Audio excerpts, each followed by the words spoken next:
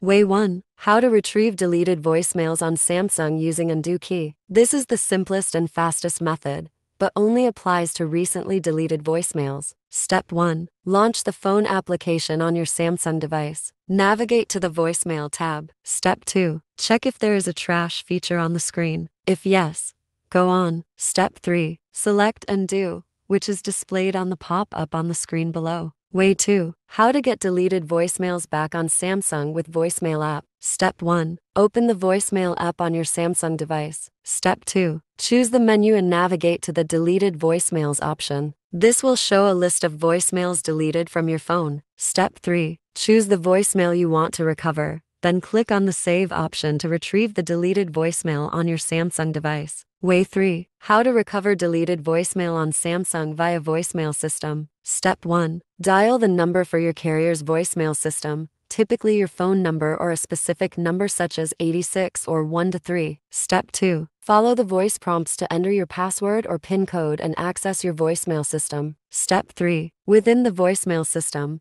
locate an option named Deleted or Recycle Bin and select it. Step 4 In this option, you will hear the voicemails you have deleted. Choose the voicemails you want to recover, then follow the voice prompts to select the Restore or Save option, and you will be able to restore them to your voicemail list.